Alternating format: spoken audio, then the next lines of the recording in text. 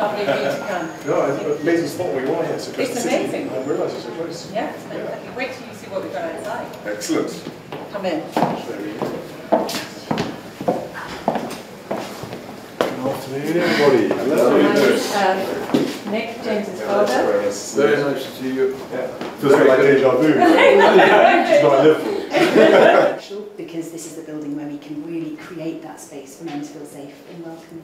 Yeah. Did you have to do it online for some of the sessions? We moved temporarily. It's um, but it, what a spot! I mean, it's I hadn't realised you got cricket and rugby right on the doorstep in the busy heart of London. It's uh, it's a cracking spot. Well, we will, we're delivering that therapy already, so we wanted to maybe. And I hear that your talk about that. clients coming tomorrow. Effectively, it's kind Yeah. of literally get us out and bring Yeah, them tomorrow. really soon. Yeah, yeah, yeah. So it's a really exciting time. Yeah, absolutely. And we part, part of, there's a few elements to um, the space. Physical So- location. Yeah, and it's this will. Uh, can I introduce Derek Wilson and Sarah? And then can I get How are you? Hi, Nice to meet you. Very nice to meet you. Please grab a seat. Have a seat. Sit down this time. There's no room in the inn at the last one. Yes. We've been able to use over the last sort of four years, which is this is our intervention. This is what we use with the, the men who come along. At the because as you know, males don't speak about mm. th- about these issues. You should help yourself. Have you felt that you had to manage it all yourself? Is that No, I I didn't know I had an issue, sir. Okay, so you I didn't know I had an issue.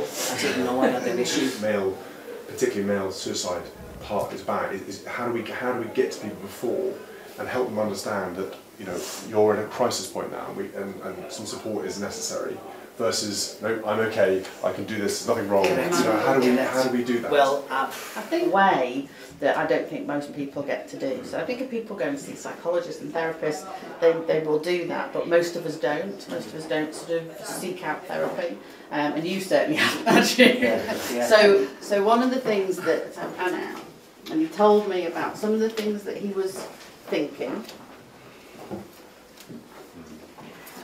and then he told me about some of the things he was doing. So he wasn't speaking to anybody. Mm-hmm. In Wayne.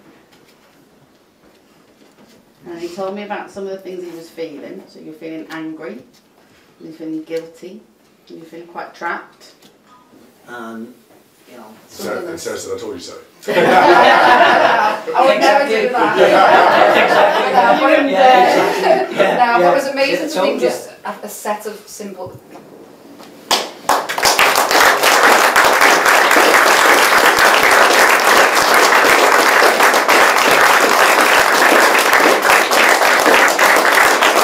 it's a real real pleasure to be back here um, it really is Claire. And what you and the team at James Place and everyone has accomplished here is another you know milestone. And I know what is your journey um, to making sure um, men have access to mental health support and, and suicide prevention. So I'm, I'm really I'm, I'm always touched and I'm always incredibly moved by my visits to um, to places knowing that there's something here for, for guys to come to